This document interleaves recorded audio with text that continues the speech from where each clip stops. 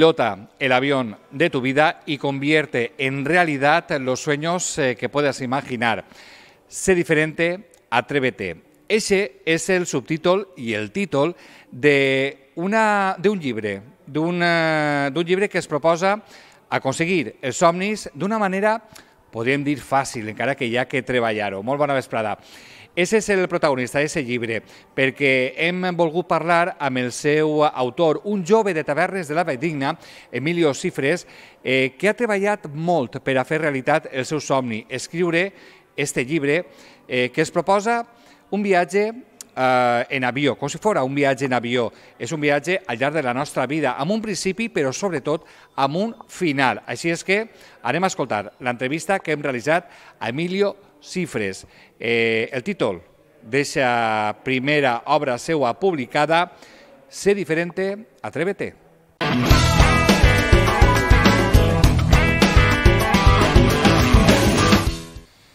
Sé diferente y atrévete a emprender un viaje inolvidable pilotando el avión de tu vida hacia un mejor destino. En tus manos está escoger el camino que te permita ser tú mismo para dar lo mejor de ti y convertirte en la persona que quieres ser.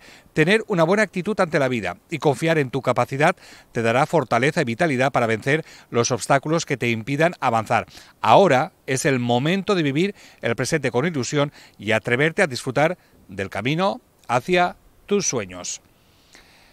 Esta és la contraportada, eh, suggerent este missatge que es dona este llibre, Sé diferente, atrévete. Pilota el avión de tu vida y convierte en realidad los sueños que puedas imaginar. Estem amb l'autor d'este llibre que anem a conèixer, anem a anar fullejant per a conèixer el seu contingut. Ell és un jove de tavernes, Emilio Cifres, molt bona vesprada. Molt bona vesprada. Bueno, és un plaer eh, tindre l'oportunitat de vindre i donar a conèixer el que és el llibre. Ah. Eh, estem parlant d'un llibre, eh, deia jo, mm, un jove de tavernes. De fet, eh, tu eh, tens 24?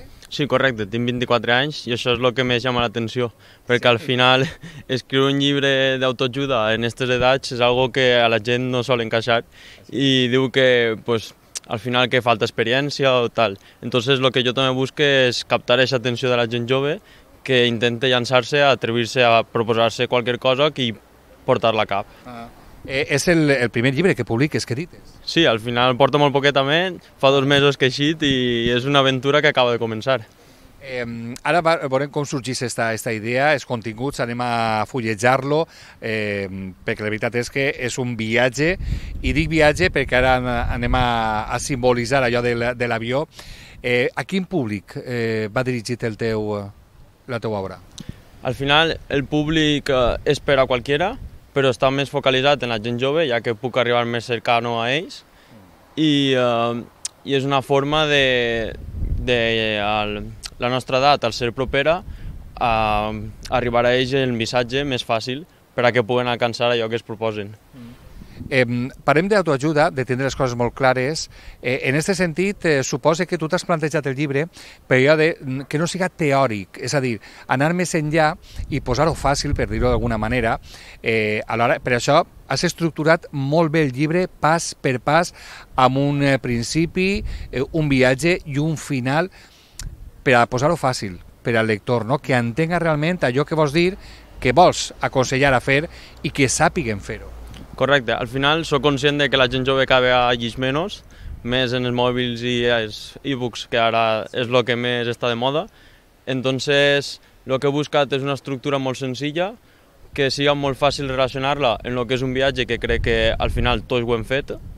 Entonces, té pas per pas, de forma redactada molt senzilla, molt pràctica, molt aplicable al dia a dia i sense conceptes molt teòrics que el puguen distorsionar i que sigui molt avorrit i tot al final comença en primer que tot definir-te l'èxit, perquè una cosa molt important és que depenent l'etapa de la vida l'èxit va canviant i cada un tenim una definició diferent d'èxit. El que per a una persona és èxit, per a una altra no pot ser. Entonces comencem el que és el viatge primer, sabent per a tu mateix en aquest moment el que seria ser una persona exitosa. Per a tu que és una persona exitosa? Però al final per a mi una persona exitosa és una que es proposa algo que li agrade, que el faça feliç, que el, el dia a dia el pugui aportar en els seus hàbits i després, sobretot, que deixi aquesta huella positiva en els demés. Al final jo crec que això és molt important i tot el que a tu t'aporta intentar ajudar els demés a que també puguen aconseguir allò que es proposen. Ah.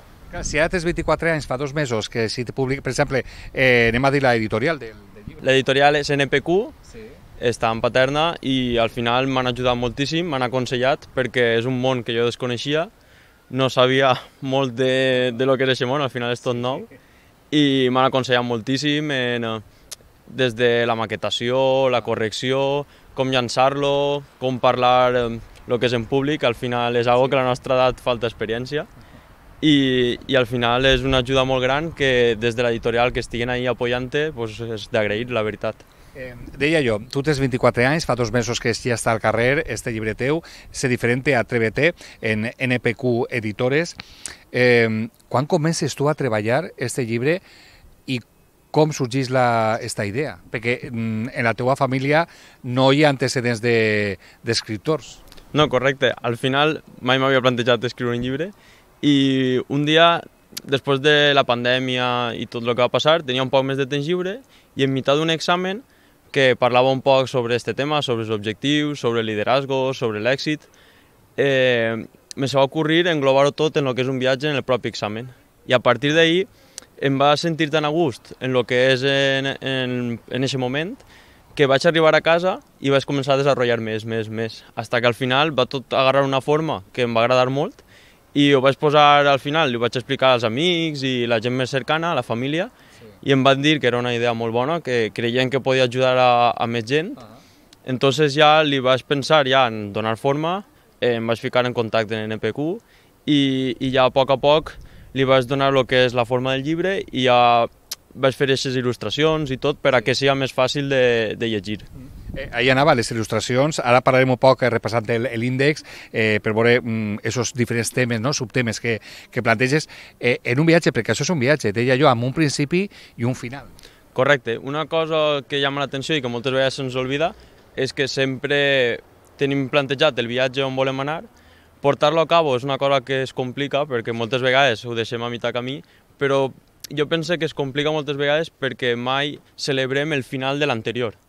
Perquè al final tu el planteges un objectiu, quan t'arribes a ell, el més important és celebrar que ho has aconseguit o que has arribat al punt que t'havies proposat i celebrar aquest moment, dedicar-te un temps per a tu, reflexionar com ha anat el viatge anterior, per allà poder plantejar-te un següent.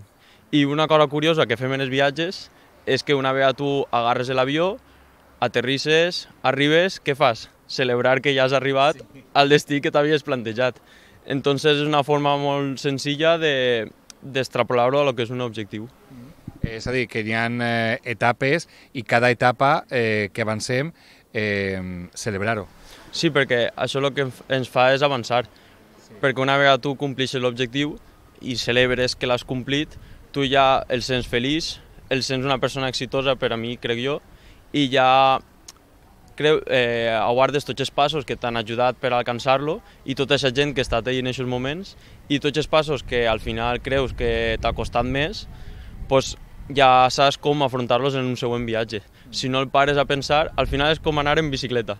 Comences a pedalejar, a pedalejar, a pedalejar, però no pararies mai. I si tu no pares, reflexiones, el tornes a hidratar, tornes a descansar, aquest viatge no va continuar mai igual. Cada vegada vas anar a menys a menys. Ah. Són experiències i anar reflexionant sobre les experiències que vas adquirint. Eh, ara parlem, tu has parlat de les il·lustracions. Eh, de fet, eh, en les il·lustracions, eh, l'avió, l'element de l'avió és el, el protagonista, no? I és tan protagonista que està en la portada i també, eh, per allò del merchandising, tenim així el eh, marcador de pàgines, te l'has marcat també que és un avió de paper, una bona idea, no? Sí, al final el que he buscat també és atribuir-se a ser diferent, lo normal és fer el, marca, el marcapàgines normal, en una frase, en lo normal. Entonces vaig buscar una idea que que millor que un avió sí. en cada llibre per a que tu el marques la pàgina que estàs en el propi llibre. I uh, al principi del llibre crec que sempre n'hi ha un inici, des del moment que tu te'l planteges, i he ficat com una metàfora que primer tens que treure't un carnet del llibre. Per a treure't el carnet, per a poder pilotar els propis viatges, tens que agarrar l'avió i llançar-lo. I això és el que ja proporciona un inici per a tu començar aquest objectiu. Eh, has fet ahir un joc, eh, has volgut involucrar el lector de cap a peu. Correcte, al final ja dic que és una forma de que sigui atractiu el llibre, que no siga lo típic, lo normal que estem acostumbrats, sí. i així és una forma de captar l'atenció d'aquella gent jove que no està acostumada a llegir tant. Mm. Eh, parlem d'avió, eh, també claves ahir el GPS, eh, per allò de mantenir, diguem, eh, un simbolisme actual, no? Sí, correcte. Ara estem molt, eh, molt habituats al GPS, sí. pràcticament l'utilitzem moltíssim, sense ell no podríem viure. I... Claro, ja abans obríem els mapes, s'ocupava tot el cotxe, però ara el GPS és el que gastem quan anem eh, fins i tot en la mateixa ciutat. Sí, sí, moltes vegades s'has d'anar fins al puesto i ja el fiques el GPS per costum. I el mapa ja no apareix pràcticament en ningú cotxe. I sí, el GPS serà aquesta ruta que tu t'establixes, que més o menys creus com va ser, i tu vas a seguir-la més o menys el que tu planteges des d'un inici. Després aquesta ruta va ser canviant, però ja tens un, un camí que seguir. Ah. Eh, en aquest primer, podem, després de la introducció, eh, par, eh, parles, fas un anàlisi de la paraula èxit, no? què significa. Després, perquè moltes vegades en el camí de la vida eh, sempre tenim l'excusa de eh, factors externs que no depenen de nosaltres, allò de la bona o la mala sort, però tu també planteges despierta la bona suerte. Sí, jo crec que al final la bona sort té dos parts. Tenim una part que no depèn de nosaltres, que no la podem canviar, que al final va vindre de nosaltres i no, no podem entrar en ella, i després tenim la nostra part, que és la que sí que depèn de nosaltres, que si nosaltres posem totes les nostres ferramentes per a lluitar, al final aquesta bona sort va multiplicar-se i va ser més fàcil que vinga a nosaltres. Així és.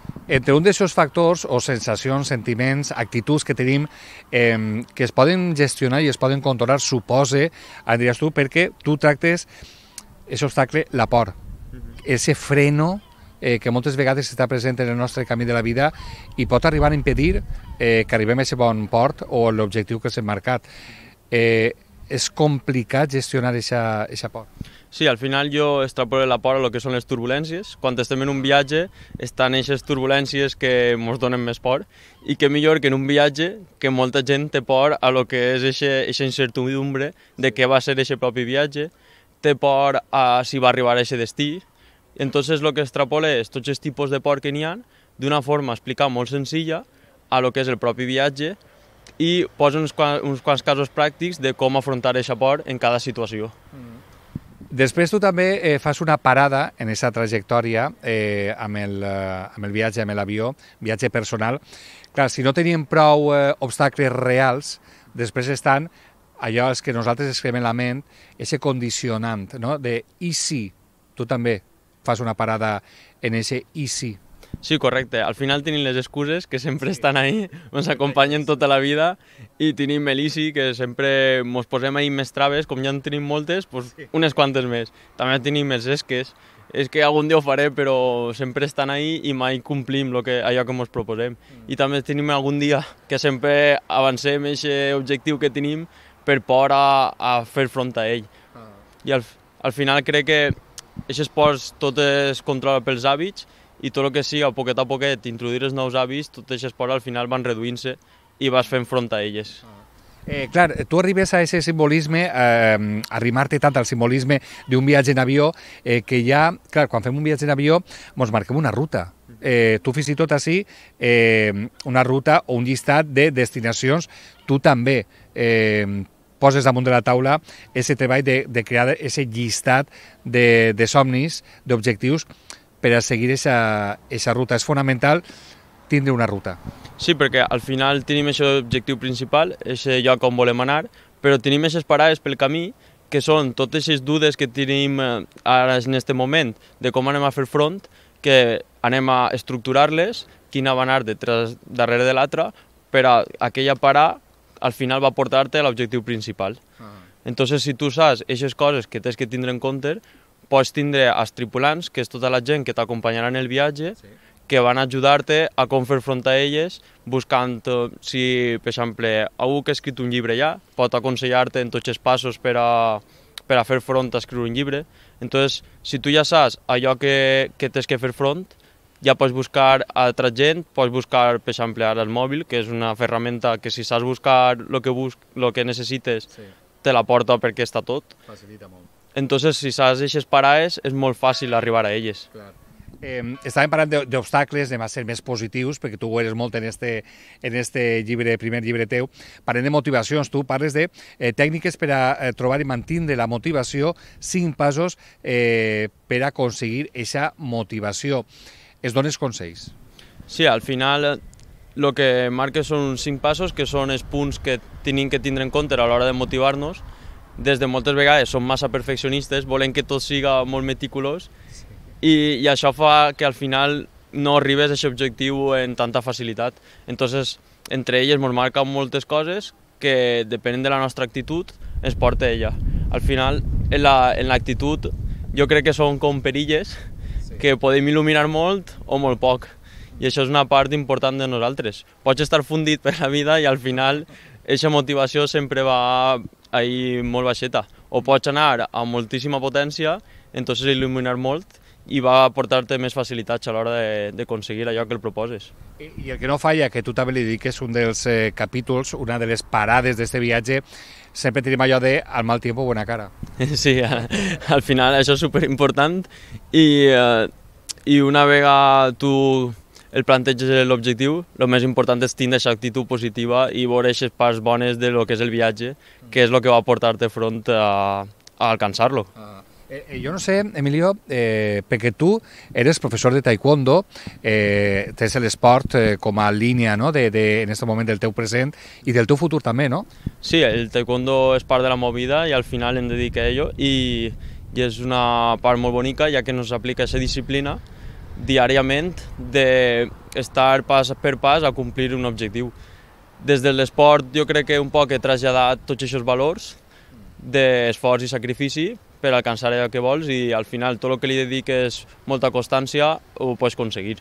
Eh, jo no sé si he escrit, eh, evidentment es nota que tu tenies les coses molt clares, no? Eh, el que volies transmetre i com volies transmetre, eh, per això aquesta estructura tan detallada de ser diferent a Atrévete en NPQ Editores, però jo no sé si eh, en el moment d'anar, en el procés de treballar, d'anar escrivint, t'ha sorprès a tu mateixa o has après eh, alguns conceptes, algunes actituds, o, o no? O tenies tan clar que no? O sí, serà sorprenent?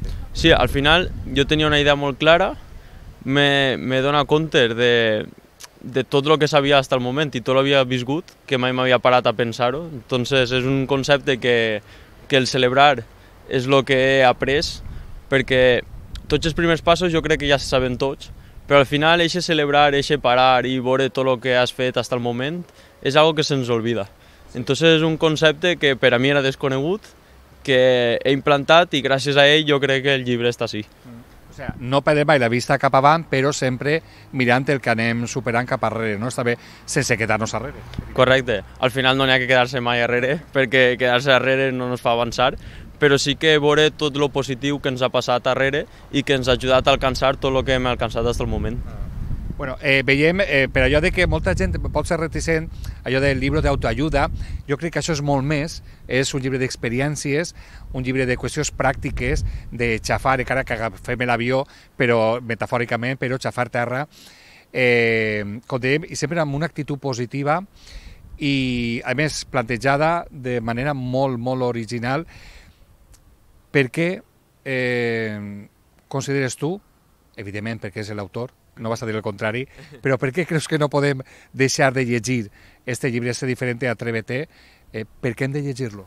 Perquè jo crec que al final el que es farà és reflexionar, fer-nos preguntes de moltes coses que en realitat ja sabíem, però que mai ens havíem parat a pensar-les, i sobretot que es va ajudar en aquests moments d'incertidumbre, de que no sabem com avançar, a buscar un altre punt de vista, una altra forma que no havíem pensat fins al moment per alcançar-ho. Jo crec que és un bon motiu per a llegir este, este primer llibre teu. Eh, moltes gràcies, eh, perquè sempre està bé que eh, pues, tindre un poc de consells eh, per a recórrer este camí particular de la, de la vida. I la veritat és que pues, sona molt bé. Pilota el avión de tu vida y convierte en realidad los sueños que puedas imaginar. Sempre des de la pura realitat. Emilio Cifres, moltíssimes gràcies eh, per eh, la visita al magazín, per portar-nos este llibre teu, per parlar-ne d'ell, que està publicat en NPQ Editores, un jove de tavernes. Emilio, moltíssimes gràcies i enhorabona. I suposem que hi haurà, la idea és que continue aquesta trajectòria literària teua o no? Correcte, al final tinc en ment un altre llibre que serà el pròxim, que estic ara més o menys portant-lo a cap. Encara falta el processar, que... però bueno, més o menys ja, ja tinc començat i prou avançat. I al final jo publique tot des de les meves redes socials, de l'Instagram, que és el que més utilitze, que és el meu nom, Emilio Cifres, que per ahí em podeu buscar i preguntar qualsevol cosa i qualsevol duda que tinga el que és eh, la gent em pot preguntar ahí. I després, el dia 3, vaig a fer la primera presentació en Xeraco, que fins al moment encara no havia pogut presentar-lo i em fa molta il·lusió, a veure en la Casa de Cultura a les set i mitja a veure què és d'ahir. El dia 3, a set i mitja, Casa de Cultura de Xeraco, presentació de Se Diferente, Atrévete. El que hem dit, moltíssimes gràcies. El, el segon eh, llibre que estàs preparant té un poc aquesta mateixa línia? Sí, al final va ser una doble història que es parlarà un poc del nostre dia a dia, però més enfocat a el que són les noves tecnologies i com s'han implantat en nosaltres. Tema també interessant, però de moment tenim Ser diferente, Atrévete, i arribarà el segon llibre. Emilio, gràcies. A vosaltres. Ja saben, esta proposta eh, de lletra Ser diferente, Atrévete, Emilio Cifres, en NPQ Editores.